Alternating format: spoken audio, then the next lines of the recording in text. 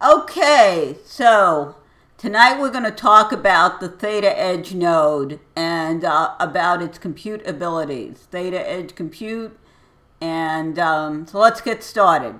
So we've seen the Theta Edge node in terms of broadcasting um, and either streaming, watching streams.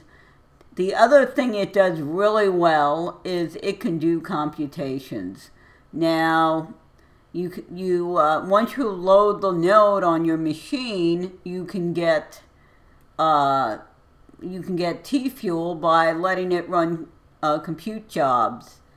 So basically, taking advantage of the uh, distributed com computational ability of the Theta Edge node, and one of them that the one that they have now is folding at home Folding at Home has been around for many, many years. I think I read 20 years, and they've looked for various uh, solutions to disease uh, by taking advantage of computational resources that are not being used.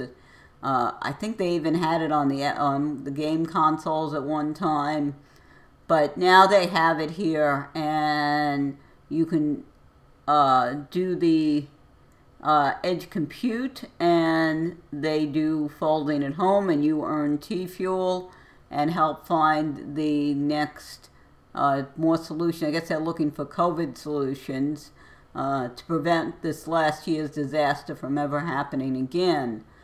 But um, and it can do other things like video transcoding and uh, and things of that nature. And I think they don't know if they show, but it can do that as well. Now, the interesting thing is this article I found on the platform. And they talk about how it works. So you got three main things. The task initiator, who's the users, the nodes, and they're sitting around waiting to get tasks, and the smart contracts, Again, we talked about smart contracts in uh, Theta, which are essentially Solidity. So you can take advantage of Solidity knowledge to um, improve your, you know, to work on this as well.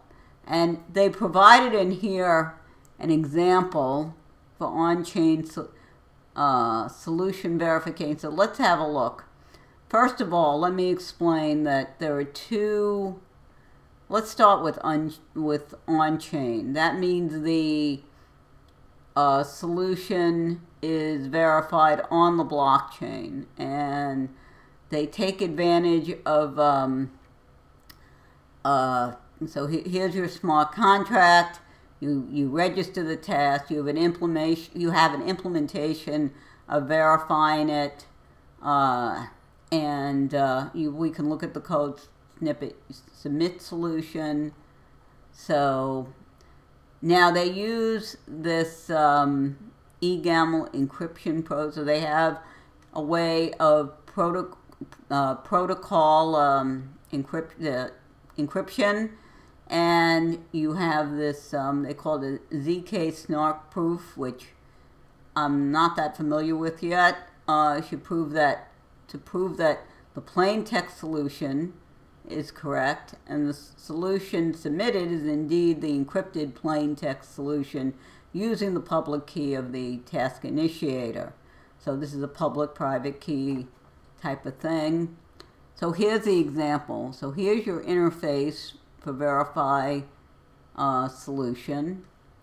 Uh, again, this is a, then a typical Solidity uh, code. You have your contract, your structure, the data that's stored on chain.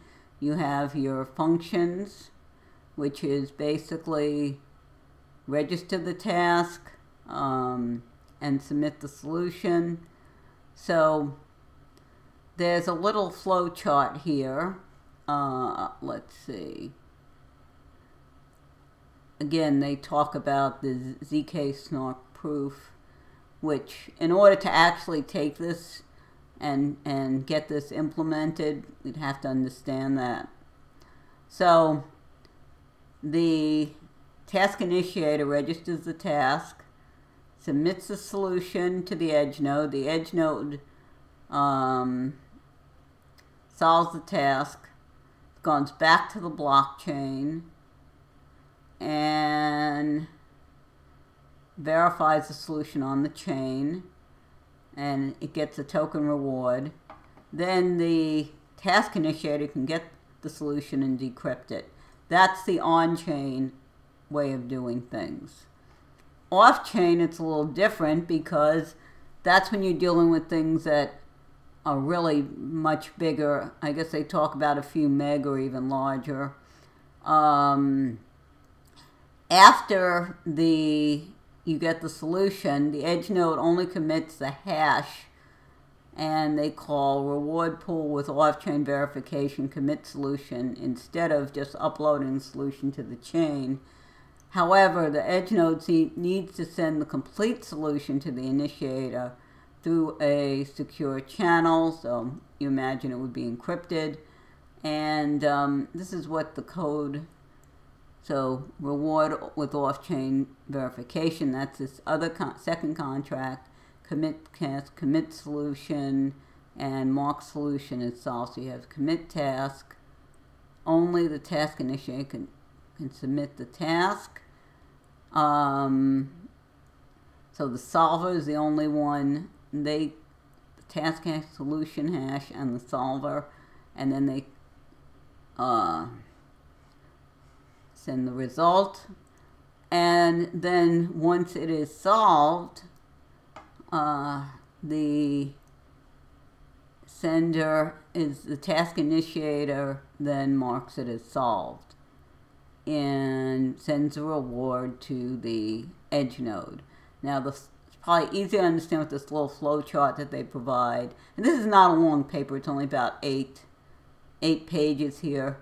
So they, they commit the task, they send it, the solver gets it, the solver um, uh, puts their, puts the hash in, on the blockchain, the task initiator then gets the information they need to verify the solution, mark it as solved, and send it the token reward. So there are two different methods depending on how much data, because again, you're trying to limit data going through the chain, and that's why they have to do it this way if it's a lot of data.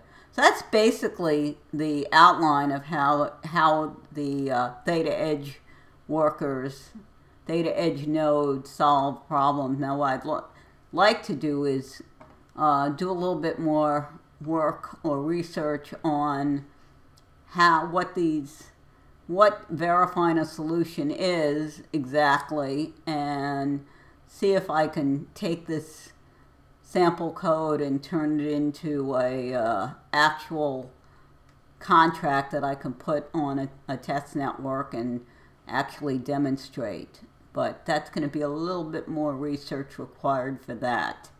Uh, understanding the ZK snark proof, etc., etc. But um, this is basically how Folding at Home can now get their solutions via the Theta network, again, which is designed for speed and designed to take advantage of, of this, this computational power that's distributed all over the world. So hopefully this has been um, helpful to you. If so, please give a like.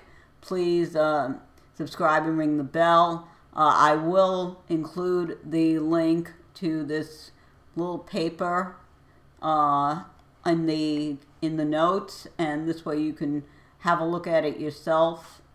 And uh, that that's it. Um, Thank you again, and I will speak to you next time.